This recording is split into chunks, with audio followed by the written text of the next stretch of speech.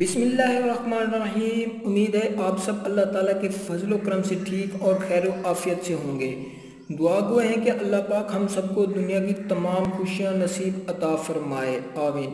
میں ہوں مدثر عباس، تو آپ دیکھ رہے ہیں YouTube channel super car info جی ہاں تو آج ہم بات کرنے والے ہیں کیا سپورٹیج ففتھ جنریشن کے بارے میں۔ اس گاڑی کو ان ویلڈ کر دیا گیا ہے۔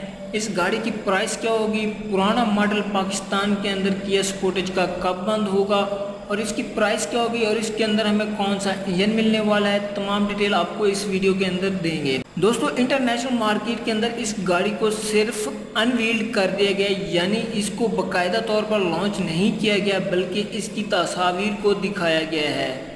سب سے پہلے اس گاڑی کو کوریا کے اندر لانچ کیا جائے گا، بعد میں باقی ممالک کے اندر اس گاڑی کو ایک باقاعدگی سے اس کو لانچ کر دیا جائے گا۔ یہ سپورٹیج ففتھ جنریشن پرانی جنریشن سے تھوڑی سی بڑی ہے اور اس کا جو انٹیریئر ہے وہ کافی زیادہ خوبصورت ہے اور اس کو مکمل طور پر تبدیل کیا گیا ہے۔ آپ کو اس گاڑی کے اندر جو انٹرٹینمنٹ سسٹم ملے گا، جو اس گاڑی کا انٹیریئر ہوگا یا کہ اس کے ڈسپلے سسٹم ہوگا، وہ آپ کو مکمل طور پر ڈیجیٹلی طریقے سے آپ کو ملے گا۔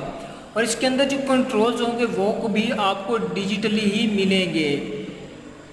اگر اس کی سائٹ کی پروفائل کی بات کی جائے تو اس گاڑی کی سائٹ پروفائل کو کافی زیادہ چینج کیا گیا ہے یعنی اس کے اندر بہت زیادہ کارٹس دیے گئے ہیں۔ ففتھ جنریشن کے اندر انٹیریئر پر کافی زیادہ محنت کی پاکستان میں اس گاڑی کو کب لانچ کیا جائے گا، اس کے بارے میں فی الحال ہم کچھ نہیں کہہ سکتے کیونکہ اس گاڑی کو صرف انویلڈ کیا گیا ہے، جیسا کہ آپ لوگ تصاویر کے اندر دیکھ سکتے ہیں۔ گاڑی کی بیک لائٹس کے اندر کافی زیادہ چینجنگز کی گئی ہیں اور انٹیریئر کو ایک ڈیجیٹلی طور پر کنٹرول کیا جانے والا سسٹم بنا دیا گیا ہے۔ اس گاڑی کو دو ہزار بائیس کے اندر لانچ کیا جائے گا۔ تب ہم دوستو اس گاڑی کی پرائس کے بارے میں بھی آپ کو ٹوٹل ڈیٹیل اسی چینل کے اوپر دیں گے۔ تو امید ہے آپ دوستوں کو یہ ویڈیو پسند آئی ہوگی۔ نیکسٹ اور بہتر ویڈیو کے ساتھ آپ کی خدمت میں حاضر ہوں گے۔